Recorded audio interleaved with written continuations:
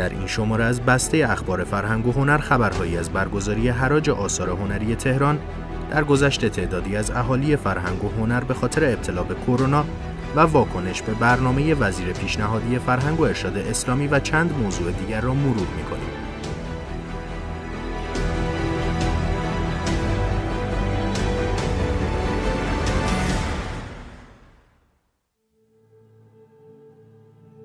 محمد مهدی اسماعیلی وزیر پیشنهادی فرهنگ و ارشاد اسلامی در این هفته برنامه خود برای فرهنگ و هنر را منتشر کرد که البته واکنش های منفی برخی از چهره های این حوزه مخصوصا اهالی سینما را در پی داشت.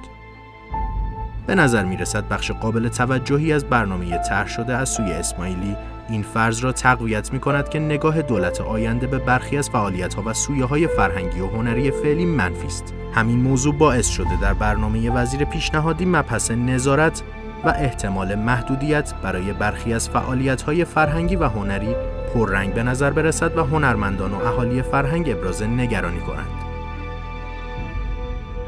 اهالی فرهنگ و هنر مثل باقی اقشار جامعه باز هم داغدار شدند. آنها این بار فرشته طائرپور تهیه کننده سینمایی آثار کودک و نوجوان را از دست دادند. فرشته طائرپور یک ماه قبل به کرونا مبتلا شده بود اما چند روز پیش به دلیل عوارض این بیماری دوباره در بیمارستان بستری شد و در نهایت به دلیل همین عوارض هم از دنیا رفت. در گذشته او واکنش های زیادی از فعالان سینما و فرهنگ و هنر کشور را در پی داشت.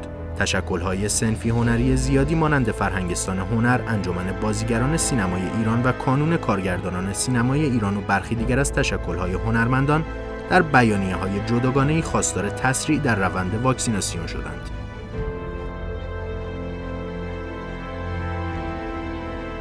خلیل رافع صدابردار و صداگذار پیشکسوت سینما منوچهر افسری بازیگر قدیمی سینما و تلویزیون صفدر تقیزاده مترجم برجسته ادبیات هرموز فرحت از استادان آهنگسازی ایران و موسیقی شناس ایرانی فریبرز کوچکیزاد و کریم کوچکیزاد دو نویسنده و پژوهشگر و لطف الله یار محمدی زبانشناس پیشکسوت و نویسنده از درگذشتگان این هفته در حوزه فرهنگ و هنر بودند.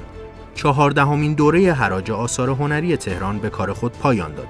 در این دوره مجموع فروش چهاردهمین حراج تهران 42 میلیارد و 718 میلیون تومان اعلام شد که این رقم در مقایسه با دوره گذشته که در دیماه سال 99 برگزار شد به کمتر از نصف رسید. گرانترین اثر این حراجی به تابلوی نقاشی روز و شب را میشمارم روز و شب اثر رضا درخشانی با قیمت 5 میلیارد و 200 میلیون تومان اختصاص یافت.